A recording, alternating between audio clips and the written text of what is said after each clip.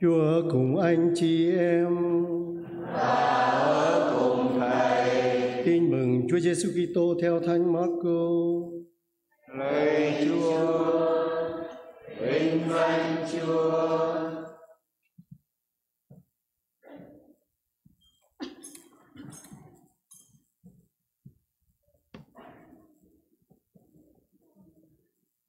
Khi ấy, những người biệt phái và mấy luật sĩ từ Jerusalem tụ tập lại bên Chúa Giêsu và họ thấy vài môn đệ người dùng bữa với những bàn tay không tinh sạch, nghĩa là không rửa trước. Vì theo đúng tập tục của tiền nhân, những người biệt phái và mọi người Do Thái không dùng bữa khi trước khi rửa tay và lúc ở nơi công cộng về, họ không dùng bữa khi chưa tắm rửa trước.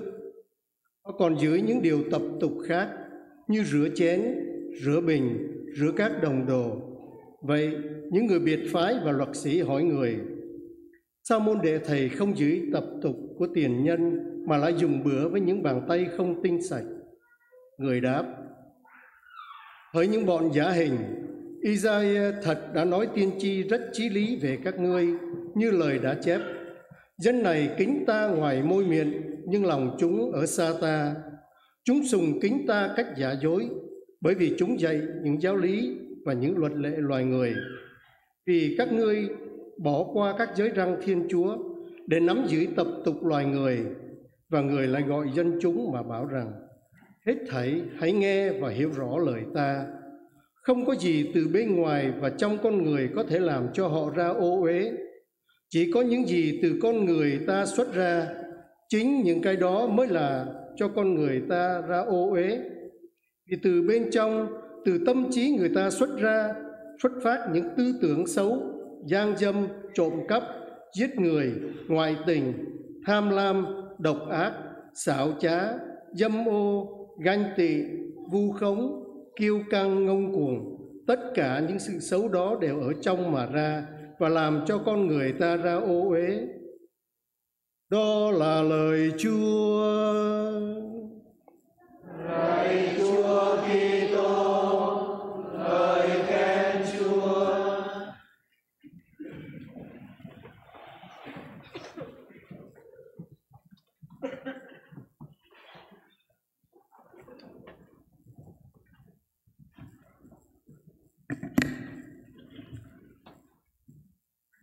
Kính thưa quý cha, quý thầy phó tế, quý tu sĩ nam nữ, quý khách, quý ông bà và toàn thể anh chị em.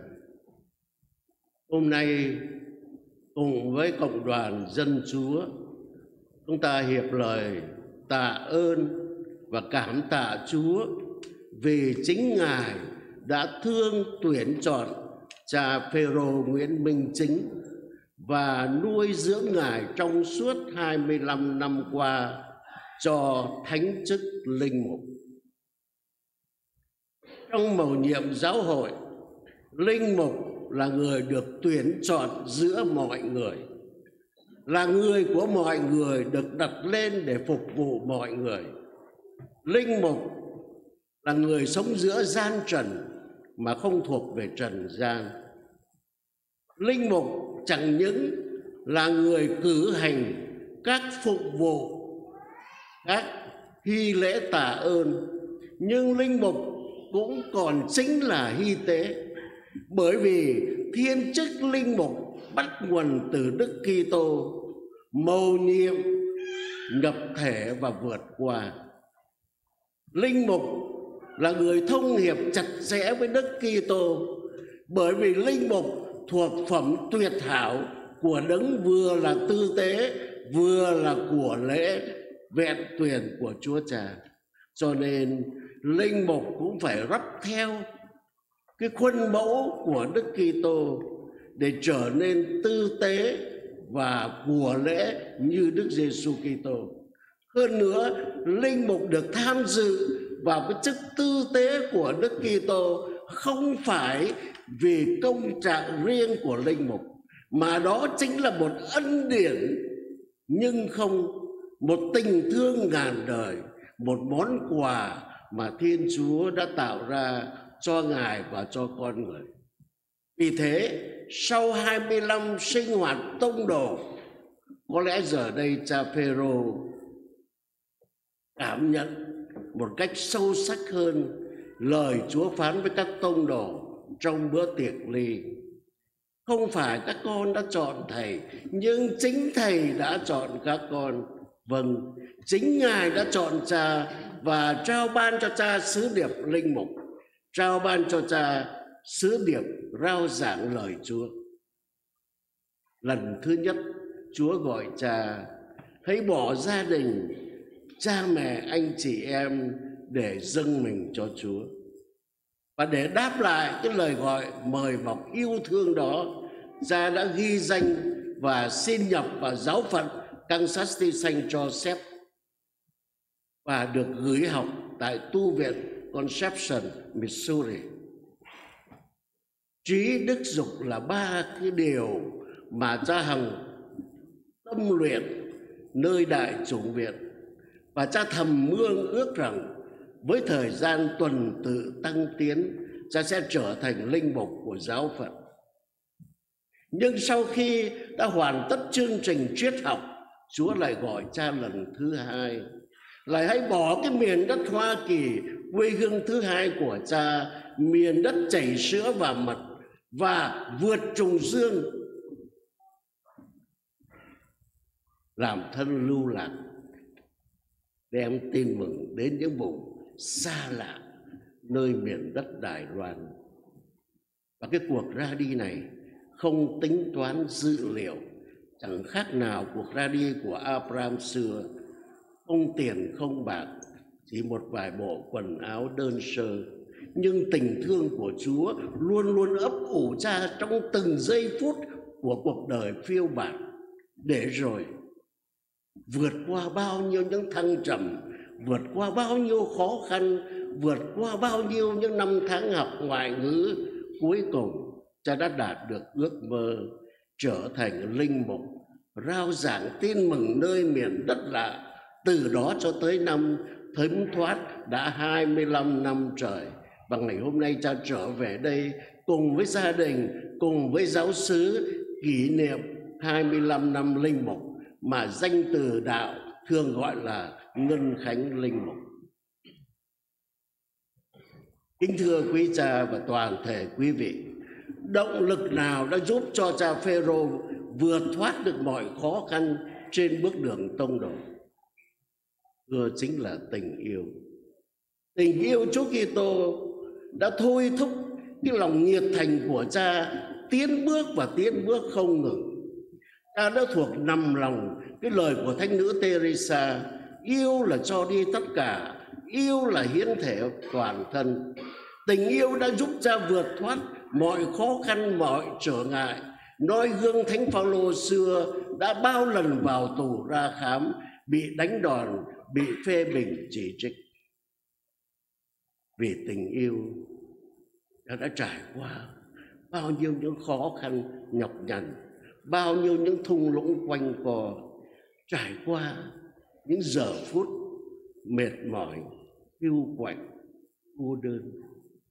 Những giờ phút hiu quạnh, cô đơn đó chính là những cái hy sinh. Những giờ phút mà thánh Gioan thánh giá đã gọi rằng đêm đen không đèn soi, đêm hãi hùng nơi vườn cây dầu những nỗi cô đơn mà chính Đức Kitô cũng trải qua khi ở trần gian. Con chim có tổ con cáo có hàng con người không có chỗ tựa đầu nỗi cô đơn hưu quạnh mà linh mục Michael Watts đã phải tâm tình rằng, lạy Chúa, sau một ngày thờ phượng náo nhiệt, khi mà các cặp tình nhân, các gia đình có vợ chồng con trái ra về còn lại một mình con bơ vơ hiu quạnh. Và con cảm thấy cô đơn hơn khi nhìn qua cửa sổ nhà xứ, khi mà các gia đình đang tụ tập bên ánh đèn ấm cúng. Con cảm thấy bơ vơ, lạc lõng giữa muôn cửa sổ lấp lánh ánh đèn ấm cúng yêu thương.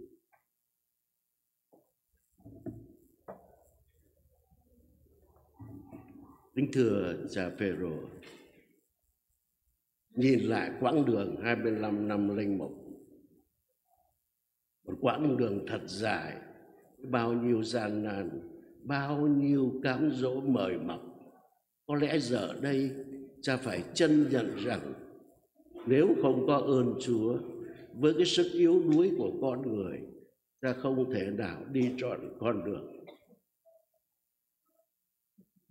Nhưng điều này lại nói lên một lần nữa rằng chính chúa đã chọn cha và đã ưu yếm, đồng hành với cha từng bước trong cuộc đời linh mục.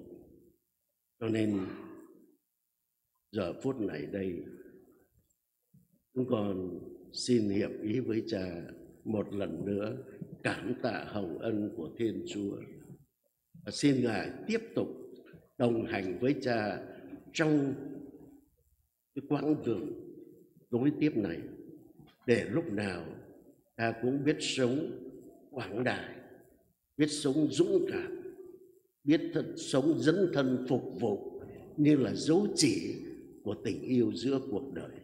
Bởi vì ta tính là linh mục của Đức Kitô, là linh mục đời đời theo dòng Melchizedek.